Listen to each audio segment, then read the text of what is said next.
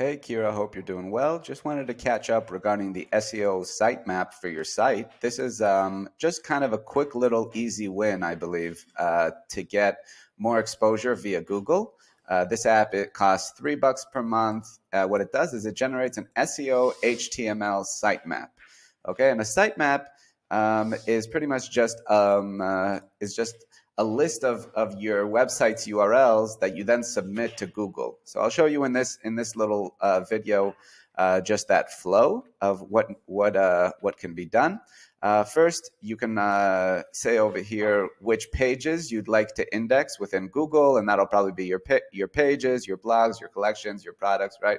All that stuff you want to send to the Google the Google index database and then it's going to do uh, it's going to generate a url for you right? And it'll say over here your new html sitemap page is set up and active. View your html sitemap.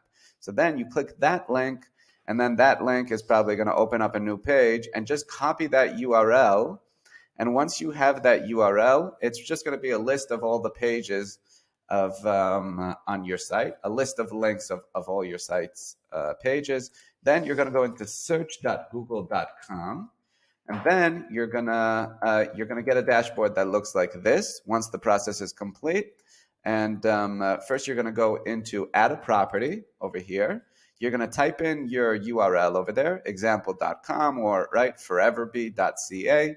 You're going to press continue. They're going to give you a little piece of code that you're going to put into your hosting provider like GoDaddy. Uh, if you need help with that, feel free to let me know. It's just it's just a two second uh, two second fix to just or or we can do a screen share sometime, and I'll show you how to add it into GoDaddy or something. But uh, hopefully um, it'll add value for you. Uh, you just press continue, and once uh, once you verified to Google search that you own that domain name, then you can go into sitemap over here, and over here you can just copy paste that URL that you got from uh, that you got from here from your from the Shopify SEO app. You're going to copy paste that into here, and then it, what that does is it gives Google a list of it gives it instructions uh, for the Google crawler. Hey, I want you to scrape uh, crawl all these pages on my site and and uh, right, and it makes it life a little bit easier for Google.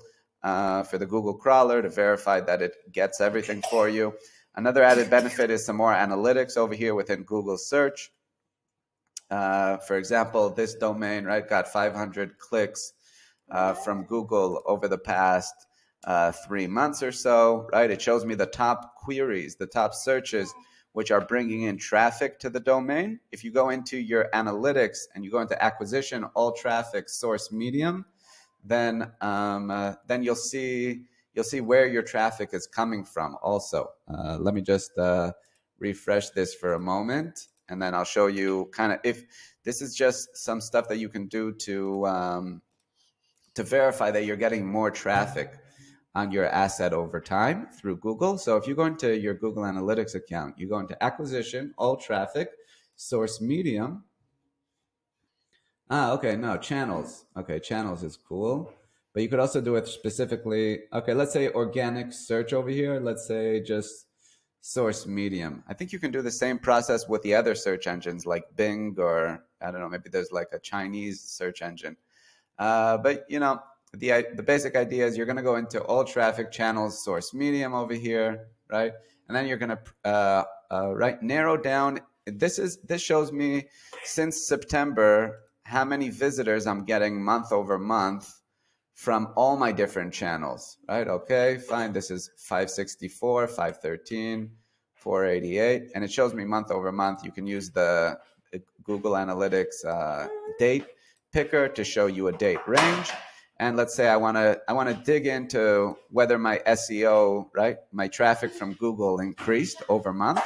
And this actually shows me very well. I clicked into Google Organic. I said, count it up monthly, count up all the all the views monthly or weekly or daily, and as and it's looking pretty good. It looks like from Google Organic week over week. Uh, uh, yeah, uh, then everything is is uh, is improving. So that's just some stuff that you can do. If you have any questions, feel free to reach out and have a great day.